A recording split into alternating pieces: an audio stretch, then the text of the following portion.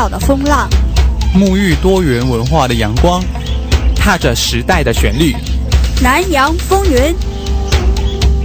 想改变世界，必须从改变自己开始。我是钟武林，新加坡国立大学社会学博士。您正在收听榴莲台 durianfm.com。榴莲当中，我是孙然，这个叫是妍妍。是今天的我们的话题是呀，因为是最后一天的关系，二零一五年最后一天的关系，所以我们要回顾一下我们在今年的发生所发生的事情。那么当然，呃，就榴莲台就整理了一个十大事件，希望从这十大事件，我们就检视我们过去的自己，然后再希望明年的时间，大家一起展望更好的未来。是，那么这十大事件呢，也是就是在回。顾一下过去二零一五年这一年过程当中，我们在马来西亚所发生的一些重要的政治事件，以及人们所关心的一些事件。是呃，那么就 有顺人吧，然后我们一个一个的，然后看起。然后我们在我们的线上呢，还有我们另外的一位跟我们一起谈这十大事件的一位，经常谈的我们的好朋友，也是一位我们重要的嘉宾，是我们的嘉宾评论人阿信，他今天会跟我们一起回顾我们马来西亚十大重。重要的一些事件了，当然这个十大的重要事件，大家可以去参考，大家去可以看一看。这是我们榴莲台整理过后就觉得是非常重要，也是在呃今年度啊非常值得去的审视的一些事情了。首先来关注一下第十项的关注事件，就是安华在三月的时候入狱的事情。呃，这个安华那时候入狱的时候，呃，就也是同时啊。就有一些这个烈火莫熄二点零的这个机会，那么那那么当那个时候就有很多人，大家都站出来有一个机会，然后声援安华的。那么安华进入入狱这个事件，就呃大家也可以看得很清楚，看得到说，因为他入狱五年的时间，那么五年的时间他就会错过下一届的二零一八年的这个大选了，所以。这个就很明显的知知道说，啊，有很多人都揣测说，这是一个啊执政当局他们的一个啊手法了，就是让他错过大选的一个手法。那么，呃，不知道大家怎么看这件事情呢？当然，我们就要问一下阿信了。阿信现在在我们的线上了，刚才也忘记了介绍他出来。早上好，不存在哈。是是是，主要还是要呃，请你上来跟我们讲一下你自己对于这十件事的看法了。首先就是安华刚才说到的这件事情，你自己啊，嗯。呃，这个，呃，我就当做是一个普通的民众来做一个做一个看法好了，好吧？对这个，呃，每个这边十大十大课题里面，每一个我看说不到两分钟，应该就差不多要结束了，对不对？因为还蛮多的嘛。我看你传给我的那一个有十大，从安华这里开始的话，我觉得就算是有一点像了。我们跟朋友之间讨论都觉得，哎，这有有一点像是一个时代的结束了。对时代的结束了，因为毕竟要等到下一次。不过这个安华在整个事情上看起来，从呃过去从烈火莫西第一次就是在一九九九七年之后吧，九八左右的时候嘛，开始到现在，也这个事情也。也持续了好久嘛，一直到明年的诞生。那到现在的话，我觉得安德华的影响力跟上一次大选、跟前一次大选比起来的话，一直看到他的影响力不断的在不断的在减弱了嘛，哈。毕竟也是一个时代的过去了。然后，尤其是到这样的一个事情的时候啊，安德华再一次的踏入这一个，好像感觉上对我们普通民众，尤其是可能对明年的支持来讲，哇，这又是一个陷阱和一次陷害。那对于我们这种来看起来，就是哎。这也不是什么大件事情啊！其实安华被入狱的最大的一个问题就是啊，那个关于感觉上就像是一个同性恋的课题嘛，对吧？嗯那在马来西亚普遍上这个是一个很严重的，可是，在很多国家这不是什么大件事情。但是不管怎么样，呃，总算是有一点感觉上是一个 一个小小的落幕了哈，呃，一个时代的过去，然后安华的也看似明年的一个下一个时代，到底是有谁？可以来崛起，有像安华这么大的影响力的一个领导人呢？对于我们来说是这样。嗯，呃，好像似乎是一个时代的一个过去啊。呃，但是现在你看，我们原来是民联了，现在是新希望联盟了，还就是。呃，还我们也普通的或明年的支持的朋友们，还是一直在期待，在五年之后、两两三年之后、四年之后，安华出狱的时候，他依然可以作为就是明年或新希新希联新希望联盟的一个共主，能够如果真的能够执政中央的话，也是作为首相的第一人选。对对对，那个呃，我不确定，因为安华也有点年纪了嘛，对吧？嗯虽然看起来看就就算看林吉祥或者是看阿马哈蒂依然活跃嘛，然后林吉祥也还还可以，可是每个人身体状况应该是不太一样的吧，对吧？对，呃，有些人感觉上哎可以。可以呃一帆风顺的活到八十九十都没关系啊，有些人可能到七十岁，可能身体就有点老态龙钟了。尤其是过了那个阶级的生活的话，我也不确定呃是不是是不是还可以有这样的那个呃这样的那个热忱这样的那个体力，尤其是在外面的呃民众们。还有选民们，还有支持者们哦，是不是还可以保持这样的热忱？到了几年过后，他是不是好像曼德拉一样，即使经过了几十年出来的豆子，还可以还可以呃，依然有这样的一个魄力去领导他的民众？我我也不确定了。嗯是，所以这个事情还是要再看呃，二零一八年呃，或者是、呃、过后的事情，就是呃，等安华出来过后再看怎么样的一个情哎，况。别说别说别说三五年了，就算是就算有时事情哦，过了一两年啊，很多那个局势都会是呃巨变啊。你看现在的那个明年的气势跟上一次比起来哦，跟前一次比起来，那个呃气势可是没有一次没有比一次弱了哦。是呃，我不确定，我不确定我们的民众是不是还可以看准方向，因为在最最最好的时候啊，像上一次大选，我觉得明年的气势其实应该是最强的时候了哈，不管是从网络啦，是从呃整个物统的那个落实啦，到呃所有的民众啊，不管包括了华裔啦，全部我们所谓的海啸，其实不管是不是真海啸，但是它的气势应该是最强的时候。如果既然都没有办法呃半岛那个国政的话，我不确定下一次的话，呃还可以不可以有这样的气势了。嗯，嗯是，所以这个还是要呃一个很长远的路途去看这件事情的。当然，我们现在就要接下来就看一下第九项的新闻了。第九项的事情就是呃东盟峰会，东盟峰会今年是呃在马来西亚这边举行，然后因为马来西亚就是主席国，纳吉就是东盟峰会这一次的主席了。那么我们也看到说，呃，东盟峰会这边就以不只是东盟十国的关领袖们或者是有相关的官员们到来马来西亚，反正还有很多呃亚洲国家或者是呃美国这一边，甚至是其他的欧洲这边有些代表也过来了，包括我们最重大的，我们大家很重视的就是奥巴马也过来了。那个时候，所以算是马来西亚这边算是一个很大的面子，因为毕竟之前的峰会感觉也没有那么多有气势的人来，这一次在马来西亚这一边啊、反正韩国、日本、印尼呃或者是呃美国这一边的领袖全都来了，聚集在马来西亚这一边，也看得出说马来西亚其实在这一个外交的部分在这一边还是挺不错的。然后这次的东盟峰会也顺利的结束了。今天十二月三十一号，就在昨天的时间，也是刚好这个东盟经济共同体也刚好就是诞生了，就是成立了。所以在这一方面看到说，马来西亚或者是在东盟这个区域啊，在未来的路有一个比较明朗、比较乐观的一个状态啊。哦，我觉得这个这个全世界的趋势好像都是这样，大家互互相在结盟的感觉。不过对我们来说，好像那一段时间我刚好也在啊、忙一些小事情，而且现在，那我除了知道吉隆坡在大塞车之外，我好像没有感受到太强烈的有什么太大的变化。嗯一般像这些任何的峰会啊之后啊，有时候像我们这种一般民众会觉得，哎。如果没有真正去注意这个国际趋势的话，会倒是觉得，哎，这到底跟我有啥关系？好像大部分人我看搞不好是这样子哦。尤其是你来到东海岸，更感觉更强烈，或者是呃东海岸，或者是尤其是到吉兰丹这样的边疆地区，哎，这样的一个东海峰会到底跟我们有啥关系啊？嗯你就问随便找一个民众或者本地人，或在喝喝咖啡一些马来民众的时候啊，你问他可能还搞不清楚这是干嘛的。嗯那那你说这这个到底有什么实际的呢？其实我们到时候最后都是要看他真正结盟之后啊，这些峰，这些呃，这些各地啊，世界上啊，各种这种有点像是结盟运动的话，或者是扩大自己的经济市场跟经济版图的那些一些策略性的问题哦。那我们有实际上的运作起来的时候，哎，其实大部分人有时候都感觉不到还有什么太大的差别，感觉到就是大家有一个年，有点像是联欢会之后，哎，嗯其实大部分还在等待他下一个策略或者下一个政策到底会有什么极大的改变呢。是，其实呃，这样子的一种感受，其实就和是之前柬埔寨是吗？柬埔寨的、嗯当时的一个领导人，他说我们要把东盟人的理念推广到柬埔寨内地的民众当中，让每一个民众都能感受到我是东盟人的一种自豪。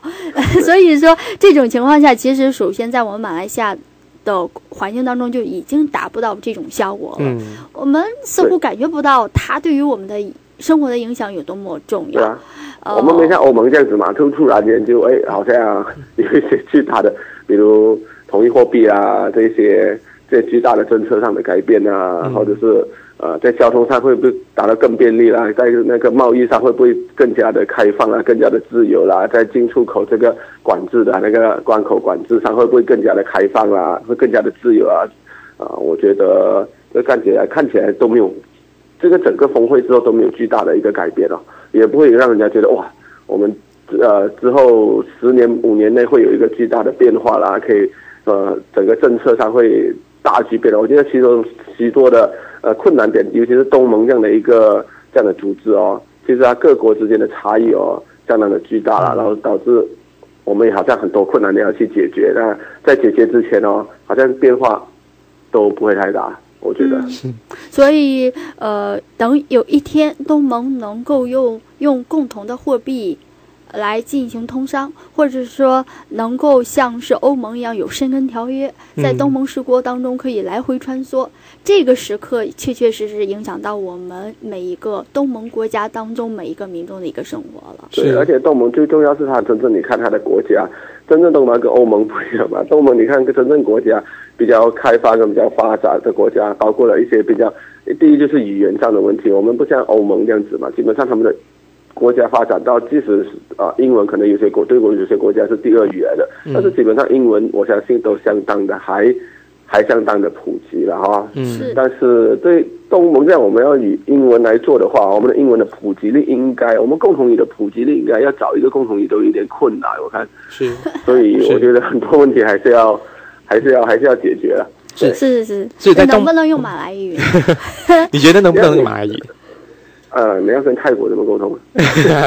就是他们可能要学马来语了。各各国你一定要对这些交易上谈的这个嗯共同语啊，不不不一定是英语，但是你对各国的语言的专才是不是足够？像马来西亚有没有足够的越南语或者是泰国语的呃专才啊？嗯可以去处理这方面的呃处理各国之间的那个交易啊，还有各国之间的那一个呃呃贸易的时候有足够人才去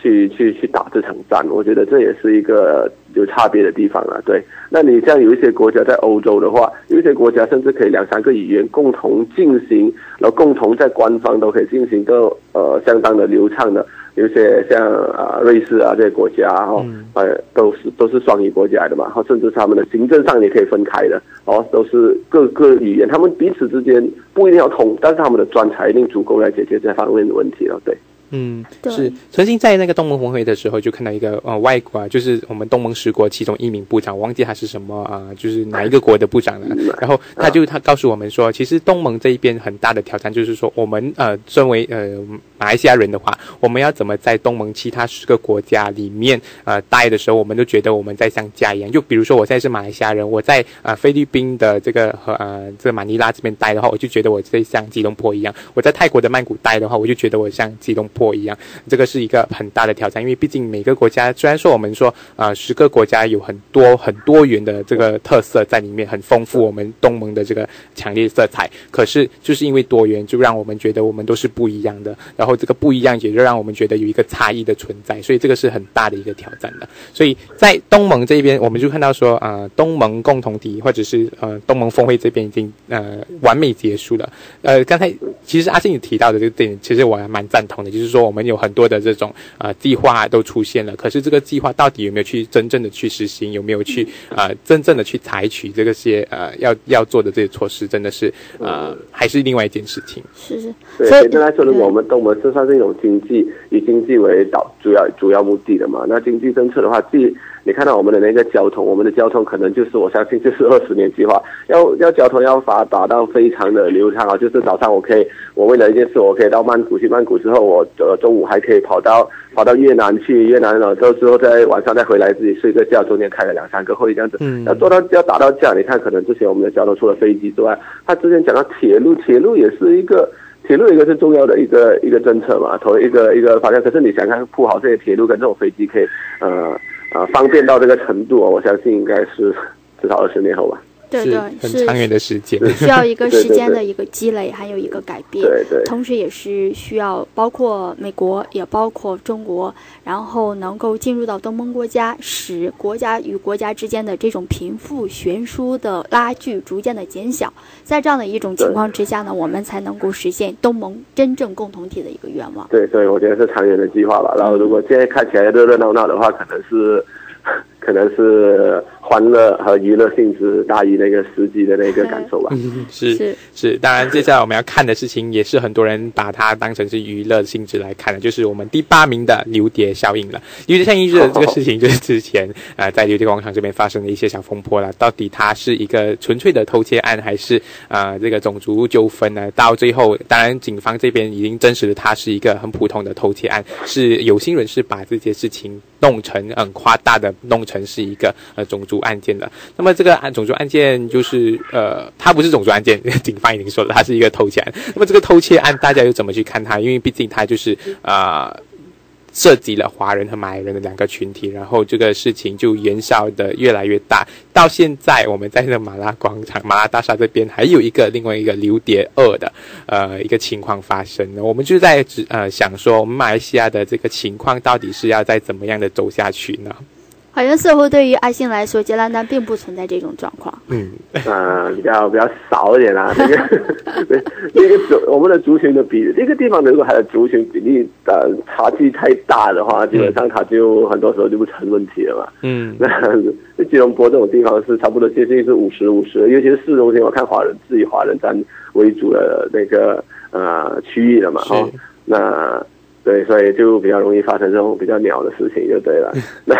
那你说流碟，鸟的事情我想你流蝶这个你，我看忘记看你那个是写，你刚才说是流蝶是是一种效应哦。对我不知道流蝶可以变成一种效应，是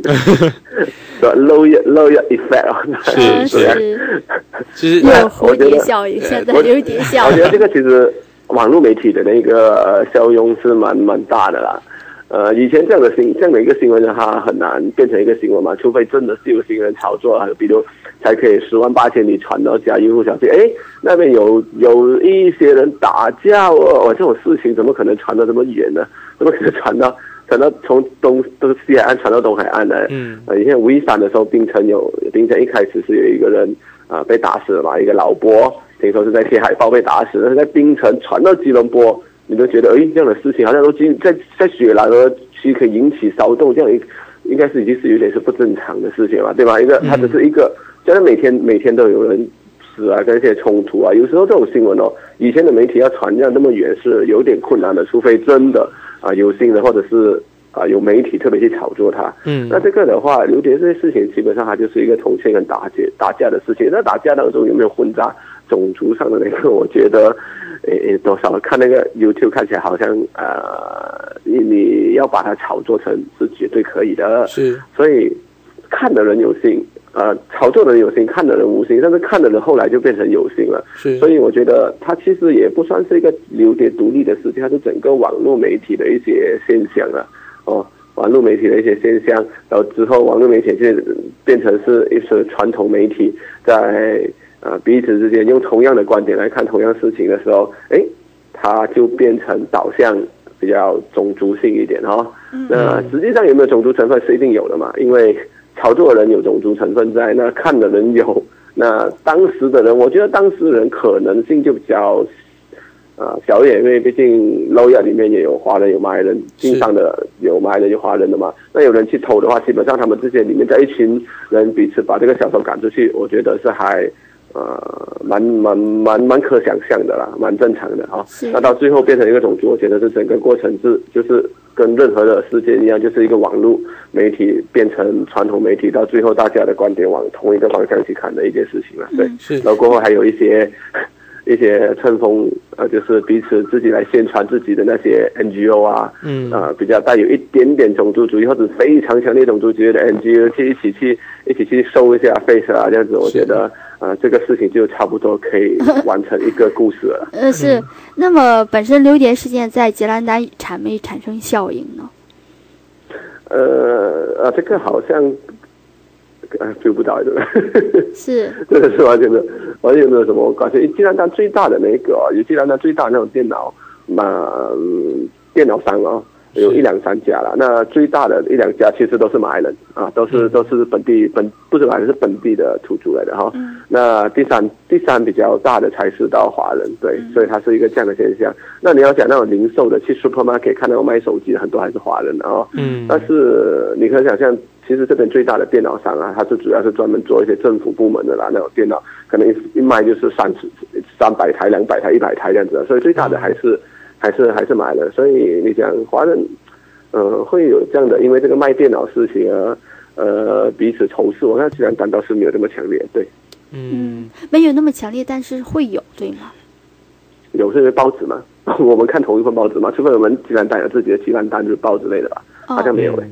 对对，我们连东海岸报都没有嘛，我们的报纸都是全部都是以中央的视角来看全国的，对不对？是啊，所以以中央的视角来看全国的话，现在我们一定是接受同样的那个事情了。嗯，同样的影响了。是对同样的一个视角的，对。好，那么就接下来看七第七位的这个明联不复存在的事情。明联已经分裂了，那么的明联呃，它分裂的原因我们也知道，它的导火线就是一刑法。那么一刑法呃，就是伊斯兰党这边很重要的、很重要的一个刑法。那么呃，很多的，就是我们也知道，之前明联的里面的这个最主要还是行动党这一边，就是因为不喜欢这一个。法这个法令啊，就是这个意思一行法，所以就呃闹得很僵，然后过后就分裂了。那么分裂就不复存在之后就。啊，组成了一个希望联盟。这个希望联盟里面就没有伊斯兰党的，呃，反而是有其他的一些啊，可能是非政府组织啊，或者是一些 NGO 之类的，他们就一起加入到这个希望联盟里面。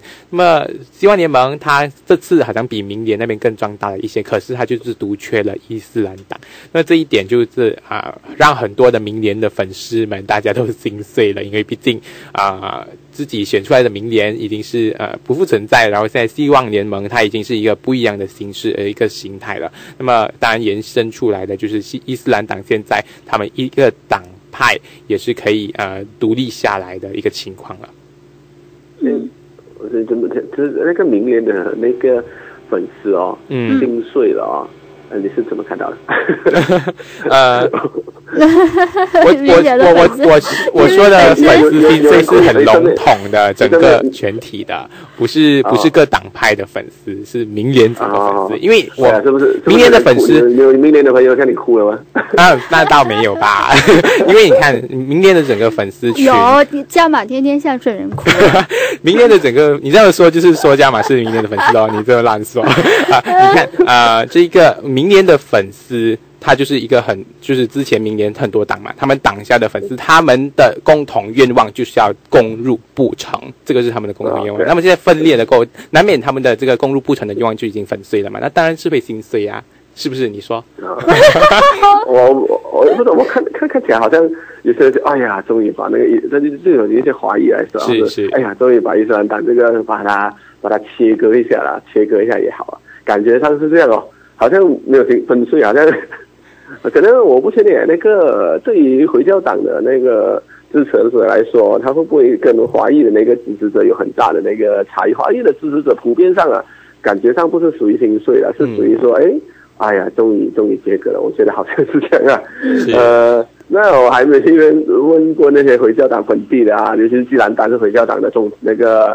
最强堡垒嘛，哈，嗯啊，那有没有有没有心碎的感觉？我倒是不确，倒是不确定啊。嗯，但是我觉得打仗就是这样的嘛。那尤其是西方的，尤其是我可能觉得本地的有一些我们的民主的那个特质还不够啊，民主的气氛还不够成熟啊，哈。那可能很多人觉得，哎，这样的是分分合合的结盟啊，运动好像是好像是有很难过的。呃，不可接受的。但是实际上，这种结盟还有政治上啊，结盟啊，然后再断结盟，那都是很常见的事情啊。理念不合就要就要重新重新洗嘛。然后最重要是，最重要，我觉得还是要看自己支持者跟选民的一个导向啊的一个倾向啊。我们马来西亚的民调的系统，我不确定到底有多强，但是至少呃，应该也不会太强了哈。他们到底明年对自己的那个自己的支持者的那个风向的掌握度跟还有他们的策略性是不是正确的呢？啊，其实政治上就是你不管是拆解还是结重新结盟，再换个名字，再插新的旗，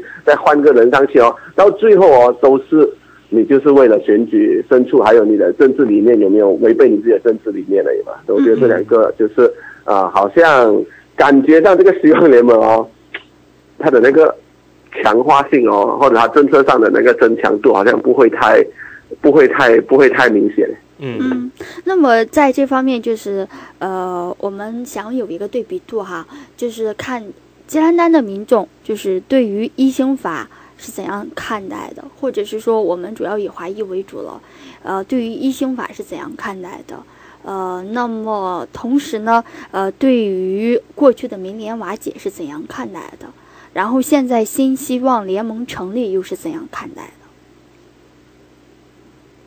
喂，喂，哦，没有，因为刚才外面下起大雨，那个现在是这个雨季时分嘛，看 外面下起大雨有点吵，对。对。所以我突然间有点收不到你的信息。不好意思 OK OK，是我再我再说一遍啊，阿星，就是在吉兰丹这方面，呃，你认为普遍的民众，如果是你能够了解呃乌裔民众也挺好的，然后如果呃这方面华裔民众也不错，跟我们能够简单的介绍一下，就是呃吉兰丹民众对于一刑法是怎样看待的？呃，对于呃民联瓦解是怎样看待的？对于新希望联盟的成立又是怎样看待的？我觉得对于回教党来说，对于那个伊斯兰党来说，其实他们好像倒是觉得好像没太大的差别。他们一直以来都不不管是民众还是那个都是相当的地方性的。我这个地方我管好这个地方，那我这个地方是呃我自己伊斯兰党在呃抓权的啊、在掌权的。那好像中央对他们来讲，其实对一般民众来讲倒是没有那么太有太有强烈的感觉哦，因为我们不像。呃啊、如果是华裔的话，可能会比较啊、明显一点。但是对于本地的，我相信马来同胞来说，他们感受是不会那么强烈的。对于民民联这个事情，为什么呢？他们是坚忠实的那个伊斯兰党的支持支持者嘛。第一，第二就是其实这个人的流通性哦，吉兰丹跟吉隆坡并没有非常的非常非常强，不会说就是好像华裔这样子，可能一年有一两三趟，因为工作关系或者是就算是旅行或者去啊探亲关系，都会往西海岸去移动哦。嗯但是马来人普遍上不会耶，不过，也就是他们是本土性强的，中央的太大的变化哦，跟这里州的变化哦，啊、基本上的关联性没有那么强。嗯啊，这个是我们可以感受到的。如果你来乡下，你说，哎，他们会觉得去吉隆坡是有一点遥远的地方来的，可能要策划一下啦，要规划一下啦，然后搭个巴士去啊，或者、嗯呃需要就是那个距离流通性没有那么强，所以相对的来说，啊、影响也不会那么大。嗯。是。那对于对，那对于是少部分的华人来说呢，那我们对于刚才所提到的，不管是移行法啦、政策上啦，我们其实的可以掌握的那一个也不那么大了哦，我们可以掌握的那一个呃诉求，政治诉求相对的也不那么大，比较小一点啊、也不是那么强烈，因为大家可能自己华人普遍上也是以经商为主嘛，觉得哎安分一点，觉得在这里可以找到两分钱，那不要的话，反正我就是这一丁点的要走也可以走。那有一点变化的话，所以基本上会有政治诉求，就是当然希望可以更开放、更呃更不要更更开放一点会更好了哈。嗯嗯但是实际上也自己也知道，哎，这样少的人在这个民主的社会里面，我们可以争取到的也不多了。嗯，是是明白。呃呃，总体能够感受到这样子的一个情况，就是说，杰兰丹的乌裔的民众对于新希望联盟和对于过去民联瓦解，其实的感触没有那么大。呃呃，是这样的一个情况。同时呢，对于一对刑法来说，呃，对于主要对华裔这方面来说，能够因为它的政治力量比较小，呃，所以能够找吃就可以了。是。呃，但是至于内心的希望来说呢，也是希望杰兰丹能够越来越开放。对对对对，嗯。其实我觉得在这边活了，这样有好多华裔应该差不多是讲，我们有我们的政治诉求，但是我们只知道这个这个社会还是现实吧，尤其是民主社会，人多跟人少的话，你要你要怎么去运作的话，它毕竟还有它的现实面嘛。是。嗯，好，那就这个明年这一方面，就是看到呃，就是希望你们这一方面就看到这样的一个情况了。因为因为不同地区的人的不同，就有一个不同的一个生活形态，那么这个生活形态也是影响着他们自己本身竟离小孩子。大学还久嘛。嗯，是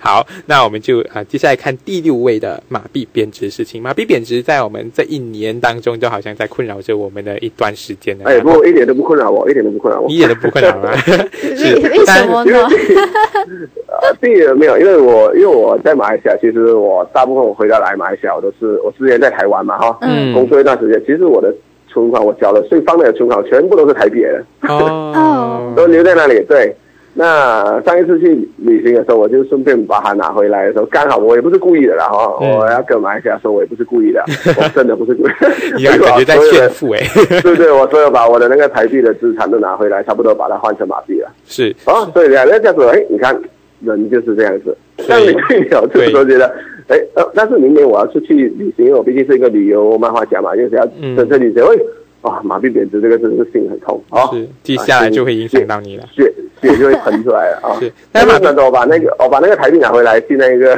去那个啊货币呃那个那个那个外币兑换那边的时候，去是换的时候会觉得哇，好开心。嗯这，样子莫名其妙就做了二十八千的那一个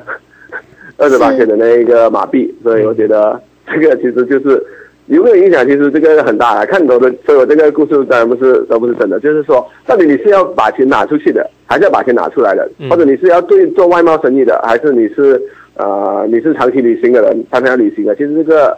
呃关系都都主要在这里了哈。嗯嗯嗯，是最重要的就是自己选择一个方式，使自己的损失最少。啊，不是，就是因为经商来说的话哦，这个是最明显的。到底你是主要是以进口为主，还是主要以出口为主为嘛？那它的影响就直接的出现，就是最大的是这个问题了哈。啊，对于进口跟出口的问题，那如果是卖东西的，我们这个时候竞争力可真的是强很多。但是随着全球景气没有没有复苏的那么快的话，其实它的影响相对也是不那么大。但是不管我们是出口还是进口哦，它中间都会有一个那个呃，都会有那个差异在。比如我进口原物料啦，跟我出口我卖的东西啦，啊，到底是不是一个呃呃，是不是有办法达到一个达到一个啊、达到一个利益啊，达到一个啊经济上是会其实还是降低？但是马币贬值对普遍民众来说，基本上啊嗯，都是。也不能这样讲，因为毕竟很多人在新加坡工作，他们很开心的。但是他们也很开心。对马币贬值主要所谓的普遍民众，我也在搞不清楚他是指谁啊。是嗯当然，马币贬值这个影响到的主要还是，如果是对外对或者是对外国或者是国外对我们马来西亚这边的一些经商或者是经济呃走向的话，会有一点点影响的。如果是在马来西亚呃生长在马来西亚生活，然后是没有要出国或者是没有像买呃国外的货进口货的话，一般都是没有什么啊多大的影响他只。会觉得物价，尤其是一些进口相关的东西，可能会略贵一点，不知不觉会略贵一点，略贵一点的哈。嗯那如果是商家还可以自己衡的话，可能他就不会涨价。那样你去两元店，它大部分都是中国货来的嘛，嗯两到处的两元店呢是都是中国货嘛。那基本上两元店都没涨价，所以可能商家就自己吸收了。那那个马币的贬值，对，对于进口这些货的话，对，那就要看民众的感觉。其实在，就是对于最基层的民众，尤其是在东海岸这种地方，然后最草根性的民众的话，他直接的感觉马币贬值哦，他们不常出国，也不是做什么大生意的，也不是老板哦，嗯最感觉的就是这种原物料，哎，不，最生活上的必需品，对，日常用品。嗯那日常用品的掌控就是在一层一层往上嘛。那如果中间那一些商家啊、中间商的话，他们觉得哎，他还可以承受得了，他没有必要起价的话，他们就感受不到嗯啊。那如果是全部一起涨的话，他们民众才会很明确的感受到了。对，是，那么所以现在就在，反正我们在就坡内的人，然后就感觉现在物价很上涨，早晨去茶餐室喝一杯咖啡，吃一个面包就都涨了是这价钱，不知道哎在吉兰丹那方面还在没有太大的？关系呢。呃，所以是不知道在吉兰丹那方面是不是这方面的物价也在上涨？啊，物价上涨是必然的，大家都会感受到的。对，嗯这个感受到，它是，但是它没有跟马币，一般上民众还不会跟马币直接呃马币贬值直接对连上来，嗯尤其是这一这一些比较偏远偏远地区的啊、民众的那个百姓的话，我相信他们不会直接对连起来哈、嗯那这边离泰国很近，那去泰国大概一个小时就到了边界那里哈。那那那边有好一些免税区，那有没有很明显的？呃，我相信目前听起来好像也还没有很，如果从普通民众不要讲经商，就做做那些贸易的啊、嗯也还没有听到有太大的那个感受了。对，是。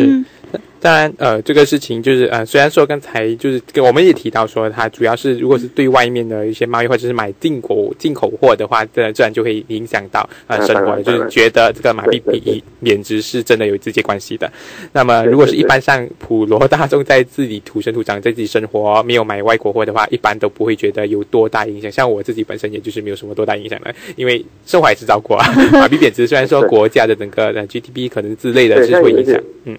是。有一些做经商的朋友嘛，他就说哇辛苦了辛苦了，因为如果它不涨，它就不涨，它就要不断的吸收，它可以吸收到什么时候它不涨，如果再贬下去，可能就问题就来了，尤其是呃卖一些。啊，像我朋友一些在经商的朋友啊，可能是 spare part 片的啦，卖汽车零件的啊，他们的利润比较高一些的话，他就还可以不断的撑，因为他不能不断的把那个价钱往上提，因为提到最后啊，可能民众会吃不消，到时候生意会下降，所以他们也要做做这样的拿捏嘛，这样做这样的评估，就不断的吸收。可是如果再贬下去的话，可能就不行了，因为可能变得没有利润了，或或者会亏本了，才会他们才会调整。所以最重要的话，呃，这还是还是在这一些这一些方面，我是觉得。嗯，还有一个事情啊，就挺蹊跷的。呃，两天两天前我也去了吉兰丹，然后我们在这边在交手机预付卡的时候，买两个嗯预付卡的时候，你需要一张交六毛钱的 GST，GST 两张就是一块二。然后在吉兰丹买的时候，他们要我 GST，他说不用交了。我买了，对我买了两张。他说：“我说 GST 一块二给你。”他说不需要，就是二十。哎，哇，哎，这是怎么回事？是在单一的这个我 7-Eleven 我我去确认一下，因为我我我不用预付卡。哦，是哦，不知道为什我么。是。我是直接用那个 post post 的嘛，对是是，呃，对对对，我我以为是州政府丹呃吉兰丹州的州政府为了体恤民情，然后把这个 GST 的费用全部由州呃吉兰丹州政府给承担。了。好像有听，好像有听说，但是我要先问一下，问一下用预付卡的朋友，啊。这个这个事情我倒这个细节我倒是没有注意到，但是哦，但是这个预付卡相当于是马来朋友当中啊，这个是非常大的一件事情哈，嗯。非常重要的事情来的，是。因为大部分人哦在本地哦，他们因为可能手机用量，尤其你不是经商的。你不是做 salesman 的，哦，嗯或者是你不是呃很多要交际的，很多时候预付卡就已经可以预付一个月，你花不到花不到二十块这样子，二三十块你就可以用的很开心，然后是。而且现在网络很相当的方便嘛，你打 WhatsApp 这些很少人在真的像像像这样子，我在这拿着电话这样子讲讲个一个小时，不像以前一样哈，所以嗯预付卡我觉得还是相当普遍的。是那让这个预付卡起几角钱哦，如果一个月本来只要用二十块，现在变成二十三块或者二十二块哦，其实哦一年下来哦，其实也蛮可观的那个数字。嗯 哦是对对对对对。是，所以这是这个鸡蛋蛋的一个情况啦。对，但没有，因为普通普通大部分人都还是用预付卡，我不确定耶。马来西亚我以前我因为我一直都不习惯用预付卡，对，嗯啊，我在国外的时候，它这些这些配套就已经很便宜很便宜，所以不常会有有人用预付卡。啊，对，那回来的时候也做这个习惯，很多人觉得，哎，我忽然发现，在马来西亚还蛮多朋友还在用预付卡的，对是，那可能就是这个配套的那个配套的政策不太一样吧。好，我们接下来就看一下前五名的这个排名吧。第五名的就是竞选门四点零，就是在啊、我们国庆日前夕的两天的这个这个重大的时间，因为毕竟啊、聚集了好多好多的黄衣人士在街上，就是我们的这个独立广场的附近这一个地区这一边，大家就集会过了一天，过了四十个小时的这个啊、就是在外面留宿，然后一起要抗争，要一个竞选，有一个五个的诉求。那这五个诉求到底是什么？那时候就是大家都一直在喊着这些口号嘛。那么主要还是啊呃要。一个竞选的一个权利，然后还有很多的一些呃非政府组织，他们也一同出席，有不一样的组织就有不一样的诉求，包括有些是要释放安华的啊，然后有些是要要爱护环境的啊，还有等等很多的。那么这个诉求呃就是竞选门这个事情，就让大家可以看到说很多是呃很多人看到它是一个变相的一个啊、就是反对党的一个。集结的一个呃机会吧。那么对于这个事情，阿信那时你是怎么看的？喂，那啊还好也是下雨这边那我觉得我大概开始认真的想了一下哦，因为我再回顾一下，其实那个竞选们的机会哦，我觉得这是民主的一个过程，但是呃，它我们趋向于更加成熟的一个民主体制，然后更加的呃文明一点哦。但是其实有时候想一想哦，哎，因为我们的毕竟我们还不是这么这种真正民主开放的国家哦，嗯。我们的竞选每一次的这种集会之前哦，呃，都会考量一些会不会敏感，会不会动不动就暴动打架这样子哦。是，所以其实我们的心里啊是还没有那么的放心去做这种聚会的。那久而久之，从第一次、第二次，我觉得他的气势是很强的哇，真的是让政府看起来有一股压力。那到了后期哦，如果这个压力已经没有办法，像我觉得这个竞选门四点零的时候哦，聚会哦，是，他是不是已经不给政府造成那种压力而？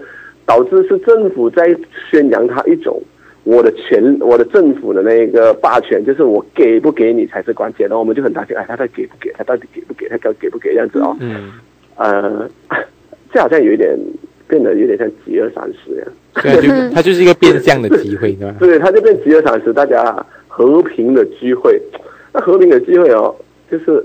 都诉求又更加多元化了，嗯，可能连那个铜钱的那个也一起来样子哦，是，那大家就就有点失焦了，然后那个政府也感受不到压力了，那民众也感不到那个感染力了，那他的就越来越越来越越来越弱，越来越弱的话哦，嗯、我觉得。就有一点复杂了。其实呢看起来是变得更好了，其实我是觉得是复杂了。嗯，因为第一，它真的变成饥饿三十这种这种，好像是公益团体的一些小小会式的活动啊，那不算聚会了，算活动啊。嗯，哦，整个过程都有相当玩的，可能还有个活动策划，好好的活动策划人来规划场地啊这些。呃，政府如果感受不到压力，民众赶不上那个感染率，我觉得还是就功能性就大减。是，当然就是我全部人都这样做，觉得哇，对我们就是要这样子，然后大家看起来就觉得很很有一股热忱热血，觉得我一定要啊、呃、这样的一个政策改变，我一定要更开放、更民主啊，倾向更民主哦，这是对民众的，对政府觉得哇，真的有这边有四十万、五十万人好像台湾早期有也是有红三军啊，其实这个我们我们马来西亚是特别喜欢就这样子，不可能是华裔领导的关系，因为华裔对自己也比较敏感，就是直接从台湾引进的红三军啊，又呃青色又蓝色衣服这样子哦，嗯，那这种感染力有时候在媒体大量宣渲染下，它会变成一种大家觉得哇，对我们就是要改变这个国家的社会啊，你看所以到现在啊、哦，台湾已经进入一种。啊，大家除了两党竞争之外哦，大家可以选一个无党籍的人出来，就是他们厌倦的这样的。哎，这种在这种感染跟媒体炒作当中，整个民众的风向会变了，他会突然间觉得我可以选接受一个非国民党、民进党，甚至不是亲民党的一个呃无党籍人做一个市长，会会去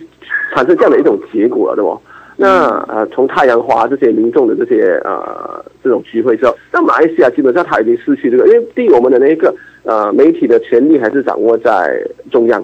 呃，那中央掌握这种权利，他不管怎么样哦，包括了，不管是呃新州、南洋光这种传统的报纸哦，它被和谐掉之后，它出来的效果，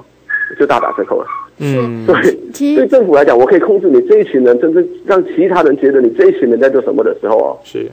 它的它的意义其实功效不在的。其实其实说，他们的民众也没有办法去明确的知道，就算今天他们打架，会不会是媒体在操弄啊？啊，不会的，我们基本上是还是会觉得，哎，这是又是扯到种族啊，各种各样。所以我觉得这个视角的问题哦，嗯，我们这个机会就越来越越来越嘉年华。是，其实说到静小萌四点零零的话，就不得不跟四个事件一起能够联动起来看。还有另外的一个，就是静小萌四点零之后又有一个九一六红衣大集会。是，呃，那么这两件事情的起因和原因，好像似乎都由源于两件事情。第一件事情是就是一马发展公司的问题，然后还有二十六亿政治现金的问题。嗯，呃，好像这四件事情是有有。分不开的一种互相的一种作用力存在的。呃竞选盟四点零大家出来集会的主要的目的是什么呢？呃有有很多有些诉求了包括四点或五点的诉求但是整体给人感觉到的是想让纳吉斯下台，啊，原因就是因为印印马发展公司与二十六政治现金的问题解释不太清楚，你就需要下台。但是这样的一个集会呢，呃，为什么后来又有九一六红衣大集会了呢？是针对了竞选门四点零，因为竞选门四点零，它好像似乎主要以华裔为主，呃，那么红衣大集会呢，它是主要以马来人为主，似乎我们又可。另另外的一个层次可以看到这是又是一种种族对立的一种关系的存在了。也许它不真的是一种种族对立的关系但是好像似乎执政当局政府有意的把它转向为种族政治课题了。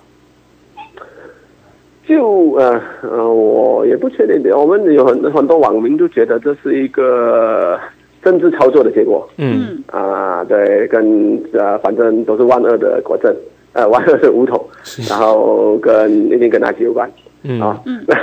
而我这呃，不管有没有关的啊，各种就各种的那种因素，我们都可以考量在内的，呃，各种。但是呃如果你要以结果做定论的话啊，要结果论的话，我觉得它是有方法这样子转移视线的，那它也可以很容易的种族化。那他也可以很容易的把这些视线都模糊掉了，这是可以的。那过程当中到底是红衣聚会的那个负责人加吗？他是故意的，还是他受了受了那个的？但是不管怎么样，我相信他的目的是差不多有达到的。嗯啊，因为大家都很关注这一批人啊，他们非要那里去采青，要去那里采场啊。是嗯，对。但是我觉得就是马来西亚嘛，马来西亚就是这我讲，就是一个不开放，就是这我们的这包括了那个媒体都不开放，哦，媒体都没有完全的开放啊，像我们今天这样子。呃胡乱吹水啊，可能还是要被要要注意一下用词哈、那容易被炒作。那今天这个红衣红衣聚会这样子，它到底是为什么的呢？我们没有办法真的一批人真的是 deep，就是挖挖挖挖挖的很深很深很深很深很深去把这些人全部抄出来，全家抄出来，一个一个审视哦。我们没有没有办法这样做，也不能这样做，因为我们不是每个人都可以办报馆哦。呃，也不能真正的去追求这些事情的原因，因为它会进入一个敏感的问题啊。比如你去专访他啦，专访他之后再去呃再去再去想办法去挖出他为什么要这样做啦，就做一个明确的分析啦，讲述自己的观点。马来西亚基本上还是没有办法。哦，那各个媒体的话，只要我们也不觉得，如果我们相信有阴谋论的话，各个媒体可能在一个呃一个霸权下，觉得要往这个方向吹的话，大家就已经往这个方向想了。因为我们普遍上啊，尤其是上一辈到至少到我们这个，他还相信传统媒体的比例是比较高的。对，嗯呃，在这个过程当中，另外的一个国家就又不得不牵扯进来了。在九一六红衣大集会的时候，其中的中呃中国大使黄惠康，然后他就去呃唐人街、街市场街，嗯然后那边采访了一呃访问了，或者是说。嗯，视察不应该说视察，他就是走走访那边，走访一些商他要去吃，铺他。要去吃，他要去吃那边那个美食福建面嘛。呃，但呃，同时他还说出说起了一些言论啊，包括就是回回娘家的言言论，这些言论呢，就会让我我们的外交部就会提出一些抗议，认为黄大使这样的一种行动和做法，他呃干涉了我们国家的内政了。嗯、您对于这件事情怎么看呢？对，我觉得，呃，因为市场街它有它的这个，它有它的象征意义。实际上，很多华人也不去那里旅行，你去那人家，你去吉隆坡吃，哎，我们去雪龙盖，人家会觉得你很乖。你 你会有讲，哎，去那里什么？也是。哦，可能我上次去的时候，也是带一个朋友外国来的，就是带跟我的亲呃外国回来的亲戚说，哎，我带你去市场街。哎，他的朋友其他朋友听到，哎呦，你怎么带人家去池塘街？哎，我觉得池塘街不是一个观光地带的，没人去，本地没有人去那里了的。大家都哎，去那里这么这样子，我觉得，哦，所以我觉得它的是意义大于它实际的那个效应了啦，那个多。是其实它是一个好像华人的在吉隆坡的一个相当重要的发源地哈、嗯那而且主要在那边经商的，虽然大部分都是外劳的，但是呃，主要的真正的后面的老板和商家的都还是还是华人嘛，对吗？嗯那那在这个过程当中呢，那黄惠康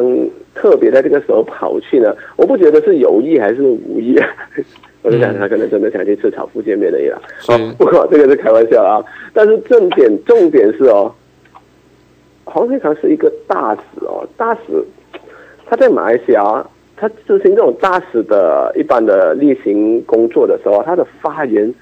是不是真的在一个国家有这么重的一个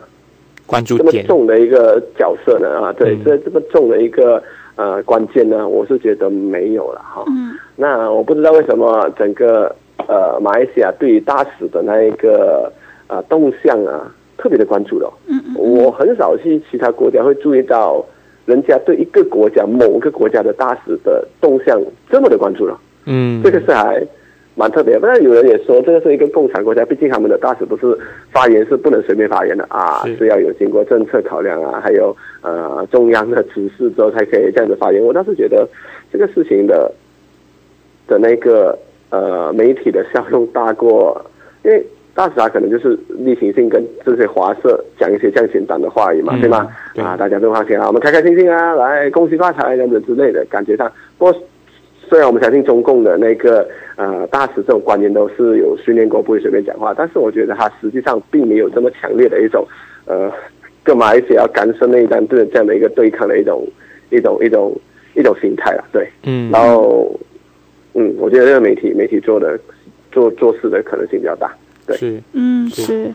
呃，其中的原因其实也有有一些原因啦，然嗯后也许大家都会明白的，呃，但是大家对于这个敏感性是在的，不管是华社、以及是吉隆坡这种、呃、敏 敏感神经，你看那个红衣行那红衣团哦，他他们会特别跑到这些地方聚会哦，都是偏向哎华人的地方哦，嗯。就是是。华人经商比较关键的一些核心地带，对，他不会去独立广场啊，他不会去古扎加耶。嗯他不会去啊一般的 stadium，他专门找这些，因为磁磁，所以去磁场街，去磁场街那个抗议啊，那你你看到那些外劳，你会觉得抗议他们会觉得，他会觉得哎，很怪。的，有有有的，对，华人在那边真的也不多了。嗯。那其实他是整个事情是一些比较有趣的现象。那华人被刺激到了，虽然他一辈子可能呃已经二十年，可能十五年没有去市场街，可是他也被刺激到了、嗯哦。对，所以我觉得这个是整个事情，你会觉得马来西亚其实是一个种族还是我们还没有到非常的那一个开放的地步了哈。嗯是是对种种族政治这呃政府一直在是绝对有市玩弄场的，在玩弄或利用种族政治来稳们自己也觉得可以被玩弄嘛，我们自己也玩的不亦乐乎的。对对对不对？但是对，明明我们对市场觉得不 care 了，可是我们还是很 care。是到某一个节点的时候，对对，对对，这个是需要一定的培养的，然后呃民众也是需要一定的指引的。你就包括媒体的指引，你也包括政府当局一些行政呃政策上的一种指引，使得民众趋向于哪一个方向。如果政府的政策趋向于使民众更加种族的话呢，那民众就是更加种族的。如果政府政策和媒体的宣传是呃不是种族政治，而是全民和谐的这种政治方向的话呢，我相信大家也会趋向于这个方向去发展、去看待问题的。有一点困难，是因为我们嗯毕竟我们的普世整全国国民各族之间的普世价值观，在即使在宪法上，嗯都没有平权嘛，这个是最大的一个问题。大家心里不管你政府做什么东西，心里有个底，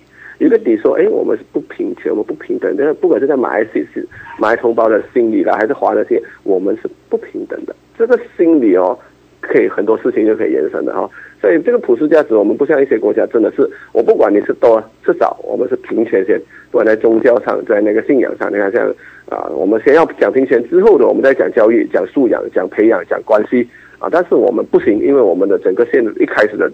立国的那一个宪法啊，对于现在人的解读来讲，它就不平，它就不平权了嘛。对，嗯这个我觉得也是长远的路。要走的话，要走这一条确认了。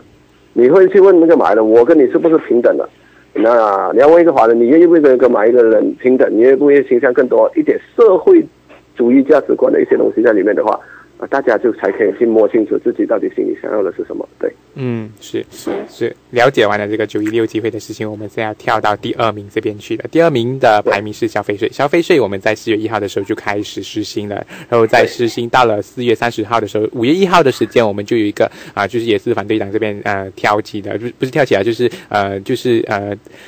开始的一个集会，就是反消费税的集会呢，就是在这个吉隆坡这边举行。那么整个消费税的这个情况看起来的话，当开始实行的时候就有一些混乱，因为毕竟呃有很多的这些传统商家，他们对于这个消费税的这个运作和操作还是不太熟悉的，所以就造成有很多的情况。初期的时候，那个时候刚开始实行的时候，还真的有一些很多混乱的。那么到现在已经呃二零一五年的年尾了，希呃相信很多的商家已经开始熟悉的这一种运作方式。然后啊、呃，我相信呃很多的这种民众们已经习惯了消费税的这一件事情，已经好像没有太多人会一直在埋怨消费税这件事情啊。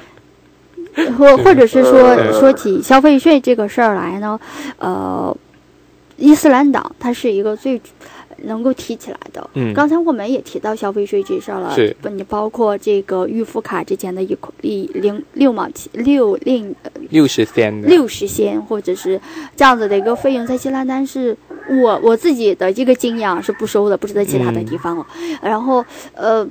这些事情，或或许过去还有一些实例啊，你就包括有一些呃呃伊斯兰党，然后组织的呃五月一号禁止消费税，我记得是在二零零二零一五年五月一日的时候，由伊斯兰主伊斯兰党主要主办的，然后团结大家，然后大家参加这个游行来抵制政府实施的即将实施的消费税。所以，呃，整个的过程当中看，好像似乎伊斯兰党对于消费税的这种抵制情绪还是最强烈和最重的，是吗？呃，首先拉回去，我觉得那个消费税毕竟是本年度，那看十大这个，我觉得那个红利机会都还在讲，消费税的确是最本年度十大的其中一个最大的一件事情哦。嗯那马来西亚的税收制度迈向一个新的新的里程碑啊，立下一个新的里程碑哦。那因为什么呢？呃，先不说这个，呃，你又问我赞不赞？你的第一个条件是你刚才刚才那个你也说了一些了。那第一个，你就要问我是不是赞成嗯消费税这样的东西呢？嗯第一个，我因为我必须讲，我其实赞成消费税，但是我是不赞成那么搞。跟其实明年他自己提出的，看嘛，对不对？嗯就是我赞成消费税不是那么高而已，因为六个八千哦，其实对本地来讲啊，你算一算哦，一天的生活费，这就算是普通的民众哦，一个月如果还有五百块的消费税的话，六个八千一年下来，是那个钱哦，他可以买一张医疗卡，那，其嗯实是不少的、哦。这个六八千是是是蛮多的哦，那是不是我们？但是本地你看吵到最大的问题是什么？之前在马来民众当中吵最大消费税的那一个啊，马来民众是非常不满，但是在更普罗大众的、更草根性的民族那个民众里面哦，真的是预付卡，嗯是预付卡影响他的生活。是因为油价没有那个嘛，然后其实有一些小东西免税啊，有是很多都免掉了嘛，对不对？对那真的预付卡之前没有免的时候，哇，这个就超很凶，为什么呢？啊，直接影响生活了嘛，六趴好像大了一点哦。那其实我只是觉得税这个东西在马来西亚的税务相对很多国家来讲是不高的。嗯那我朋友讲过一个很有趣的话，就是税是很有趣的，你只要缴一块钱，你就可以不断的骂政府，因为嗯你有尽你的义务，你今年缴了一块钱的税，那你尽了你义务，政府就要尽他义务，他要管好你这一块钱，他要把你这一块钱投入国家的运作当中，是大家正常运作。所以我觉得这个是税最有趣的事。以前没有消费税的时候啊，华人是华人普遍上在朝，基本上缴最多税的就是华裔嘛，对吧？嗯一有消费税之后，这个风向马上转。为什么？消费族群最大的绝对是马来人，嗯对，所以马来人突然间转成最大的那个税务的供应者，国家税务的那一个啊、付出的。嗯所以我觉得这个很有趣的。当你有付缴税的时候啊，你对国家的政策就会更加的注意。啊，像我去报税啊，他觉得买很贵的，你就我去报税，他觉得哎，你才一个月那几千块，不用了，你根本就不用缴税，我，瞧不起我。这样，所以我觉得这个是很有趣的事情。但是只要你报了税、缴了税，你就有义务去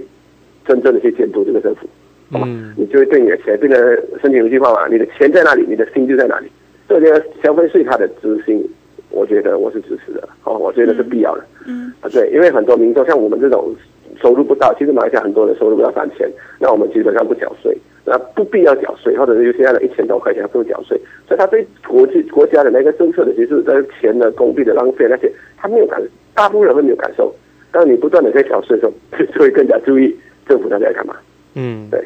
是，呃，那么呃，这个这个事项就又谈到呃第二个问题了。第二个问题就是，我们也许在某种程度上是需要缴税的，但同时对于反对消费税这回事儿来说呢，是我们当时的民联整个民联的一致的一个意见。但是民联后来不是改成那个，他们其实有说消费税是必然的，但是不这么高而已嘛，对不对？嗯我记得是这样。是，那么在这方面，是不是伊斯兰党在吉兰丹州这方面实施是不收消费税的，还是禁止收消费税的，还是呃州政府为吉兰丹人民买单？呃？这是给我们的一种感受，或者是说，呃，之前嘛，我刚才我提到，就是二零一五年在五月一号在那个大游行的时候，主要三个政党主要是在伊斯兰党组织这个集会游行的。当时伊斯兰党包车从吉兰丹开到吉隆坡，包了好几辆巴士，嗯把吉兰丹所有的 不能说所有的部分的马来民众都给拉过来了，然后参加这个游行示威。对对对对对。一开始我觉得这个是普遍上一个国家对那个税收制度的那个不理解啊，你看那个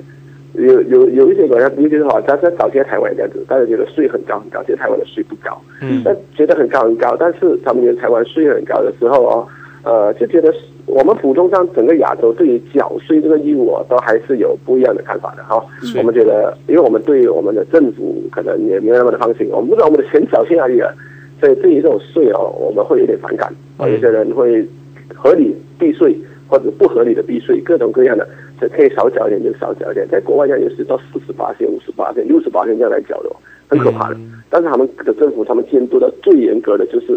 这些这些缴税人，然后嗯啊，钱到底用在哪里？是不是用在全民福利？他们可以接受把这些钱拿去扶弱，拿去建学校，给下一代更好的、更好的，反正钱用存起来也没用。那在马来西亚，我们这边对税啊，普罗大众对税的那个概念哦，啊、还不是那么，尤其是马来民众啊，他们可能一辈子真正也没有缴过什么税啊、那没有缴过什么税的话，他们会觉得，哎，没差。但突然要跟我收钱，我当然不能接受，这是一个过程，一定会反对的。正常人都不喜欢提高税额的嘛，做生意的这种。但是啊、这个消费税我觉得倒是还算合理的，好，只不过它的额度太高。消费税这一项项目，所以讲你们既然带有人去反对的时候，我觉得一定的，因为本来不用缴钱的，突然你要缴钱，当然是是心里不爽啊，这是很肯定的。本来本来去这个去这个动物园没有钱，突然去动物园要钱了，他的是心里他还是会觉得很不不开心。对，嗯，是这个消费税的总之还是呃影响到我们全国的人民的一个事项了，所以这大家还是极度关注的。可是它还是排在第二名了。那么排在第一名的到底是什么事情？就是我们呃纳吉的本身一个的事情，就是嗯一马发展公司这件事。一马发展公司呃，它就牵涉到了不只是纳吉，而且是它在国际的视角上面，大家也在关注这这件事情呢。因为包括美国的华尔街的日报也是有去报道这个纳吉一马发展公司的事情。所以在这一边，我们就看到说，一马发展公司它在马来西亚的一个定位，然后在国际视角的一个定位是怎么样的？然后我们虽然说，呃，马来西亚一整年下来的风风雨雨啊，啊，这个事情就排在了第一名，就是让我们看到说，嗯。也这是也是因为这件事情，就让很多的马来西亚子民都呃对于纳吉斯去了信心，然后对于他的执政的一些手法，或者是他做的种种事情，都开始有一些反感的这种呃信念存在了。对，那个我觉得一马公司今天啊，他刚出来的时候，我我一我一直都不知道它是一间公司来的，嗯我一直以为它只是个口号。呃，有时国家政策下还发了三百块、五百块、六百五百块嘛，我之前还符合那个就是低收入户拿了三百块，嗯 因为我之前啊，不过好像不过一个家庭不过多少钱，因为我太太没工作，之前没工作，还是有一段时间我没工作，哎，算起来还够，就就莫名其妙，哎，有我的名字拿那封信，嗯还有钱拿，我觉得哎，到后来说那个真正的那个丑那个这些啊那个金钱上的一些绯闻啊丑闻爆出来的时候，现在我才知道它是一间公司来的。嗯那它绝对是本年度最大的一个呃趋势之一。但是我觉得这样的事情，其实在马来西亚也见怪不怪了。只不过这一个扯到哪，直接扯到了我们首相啊纳吉的身上哦。因为一般他马来西亚这种关联公司哦，嗯啊办关联或者办关联哦，一大堆这种那个金钱的这种用到哪一些？包括只要每年马航这种都会有一大堆莫名其妙的那个钱，也不算不见了事被浪费掉啊，这个是其中一种。那密码公司这个就是这一个的进化版啊，额度更大，那个钱的那个走向更更复杂，然后最重要是牵扯到强力的那个政治的那一个呃政治因素，嗯还有最重要是跟那几跟首相有关，然后它不只是跟官员有关，跟首相有关。我觉得这个是呃这种国我们这种开发中国家很常就发生这样，其实不止开发中国家，任何很多国家都会有这种关联公司的丑闻哦。嗯那马来西亚，我觉得这个的话，诶，这次爆出来，我觉得是好的。哦，这也是爆出来，我觉得是好的，因为大家真的会引起，因为我关联公司发生这样的事情也也不是很新鲜的哦，大家注意的比例没那么大。那一马公司之，因为它这一个马来西亚之前的宣传很强很强很强强，各种各样的又派型，这叫包括广告上，包括唱沙杜马的一些的歌都跟这个有有关系。嗯那今天到这个强文重温的时候，大家的注意力焦点哦，就是比较吸睛一点哦。那我觉得是好事来的，大家开始你看，即使到马来社会哦，也开始去对这件事做出反击和反感。但是它的作用力有多强呢？我觉得应该是相当的强了。但是是不是强到可以撼动国政呢？我觉得好像没有。是嗯就是现在呃，一马发展公司它不仅仅透露了一个公司的一个呃管理不当的一个现象，同时它也透露出整个乌统整个执政党的一个内部的结构层次之间的关系是怎样的，呃，是不是嗯存在贪污，是不是存在管理漏洞。呃，等等嗯问题都是需要我们去思考的，而这些存在的或者是贪污或管理漏洞被相关的机构给起诉了之后呢，呃，那么执政当局为了保住自己的权利和执政地位呢，又用种族政治来消除这种对于执政当局的这种贪污的印象，所以这也是似乎成了一个循环，呃。这是今年我们二零一五年整个全年当中给我们印象最深刻的一个政治事件了。是对对对对对，我觉得这个有啊，这个一码这个水上去应该已经也来，而且它它发酵是什么也忘记了，但是它到现在持续上啊，虽然好像告一个小段落，哎，他刚好在年末之前刚好告一个小段落了嘛，对不对？对啊，一切的乌统内部的斗争也好，大家可以评论的范围也好，大家可以啊反对党可以挖的料也好，这样都暂时冷静一些，冷冷冷下来一点点了。嗯啊，跟上上上个月比起来，然后刚好可以做一年的新年快乐之前的一个小小的 ending post。是，今天也是因为时间的关系啊，我们只能呃到这边了，刚好也是已经超时了一点点，所以可是我们也是照啊、照样刚才也跟听众朋友们回顾了一下我们十大啊、发生年度十大事件啊，就是榴莲台整理出来的十大事件。不知道这些十大事件对你的生活影响了有多大？然后，我们的听众们希望你们呃可以对于这件事情呃审视一下，然后呃。希望我们一起有一个美好的二零一六年。也谢谢阿信今天跟我们回顾了二零一五年发生的事情，希望你今今年进步。阿信，准备今天晚上怎么度过你的二零一五年的最后一个一秒钟呢？呃 最后一秒钟，这个烟花的那个，应该跟应该是跟家人过吧？下，还会在下雨，会不会水灾啊？在还在看今天好像没水灾，好像又开始下起大雨来，又有一些警报了。所以今年的二零一六年可能一个不小心，一年好几迎接水灾吧。嗯，那祝福你的那个环境是会很好的过，然后今天晚上是很顺利的跨过二零一六年。啊，是，好好好，是谢谢新年进步，新年快乐，拜拜。拜拜。拜拜。是。